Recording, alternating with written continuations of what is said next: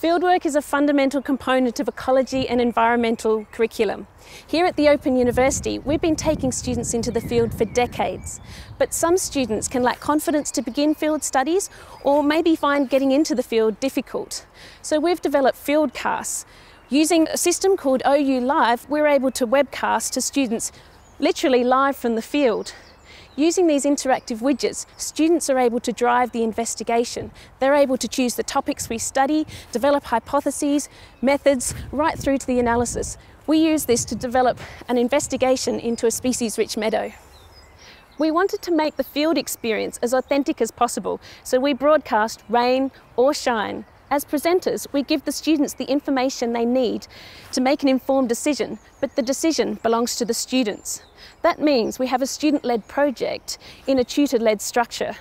As presenters, we don't know what decision the student's going to make, so we don't know what's going to happen. That keeps us on our toes, but that's the way fieldwork works. Fieldwork's really important because you can't understand the environment without actually getting out there and seeing how it works. Uh, there's also some formal requirements that students studying environmental science need to do fieldwork. Um, otherwise, uh, their degree doesn't count as an environmental science degree. But of course, if you're doing that remotely, then the uh, uh, ability to sort of really interact and to feel that you're in the environment is a challenge. So we try and make it interactive. We do make it interactive with a series of interactive widgets that are designed into the system that the student looks at. So um, we uh, have a sort of framework that we use. We, we, we sort of know um, generally what the students want, we want the students to get from the activity, but we don't have anything um, pinning us down as to what we're going to do. So the students choose their way through, uh, through the exercise. We've got uh, choices for them to make, but they come up with the things that go in those choices and, um, uh, and they decide what from those choices they're going to do. We're going to assess the field casts by surveying students. We're going to survey them before the field casts, after the field casts, and then compare that to how students learn on the tutor-led field course. We're going to follow that up with some semi-structured interviews. It's nice to be part of this innovative project, this innovative um, teaching project, and having this real-time interaction with and feedback from our students. This is really really cool. And um, yeah, I just enjoy being in the field. So no, I don't find it daunting presenting from the field any more than I do from any other um, situation, really.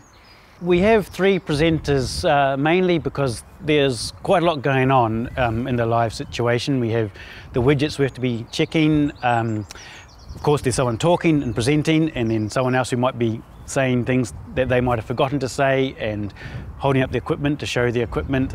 Um, so there's just these quite a lot of things going on that we have to juggle. Um, but also because fieldwork tends to be a sort of interactive and, interactive and collaborative process and we're good friends as well as colleagues so we enjoy working with each other and we want to sort of convey this aspect of the fieldwork process to the students. Everything is battery powered. So the, the feed comes from the cameras and the mics uh, and it's mixed using a, a, web broadcasting application. That's then um, sent out via a 4G broadband connection uh, to uh, via a web streaming service so that students can pick it up in their browsers. Undoubtedly the biggest challenge is always going to be the weather. Hopefully it's dry um, and then we can um, run in a very straightforward manner. The next uh, biggest challenge really is uh, getting everybody to work together. We all have our own strengths and um, aims and objectives and so um, a sound script and rehearsals are incredibly important uh, but once those are um, planned in and working uh, generally everything runs smoothly and everybody works together extremely well. We're working on a project supported by the eSTEeM program to evaluate the effectiveness of these fieldcasts. Do students enjoy them? Do they develop their confidence? And does the student-led structure deepen learning doing fieldwork? Fieldwork is a fundamental part of our own research and it allows the students to consolidate their learning and put what they've learnt in the course material into practice. And also, by developing their practical skills, we can increase their employability.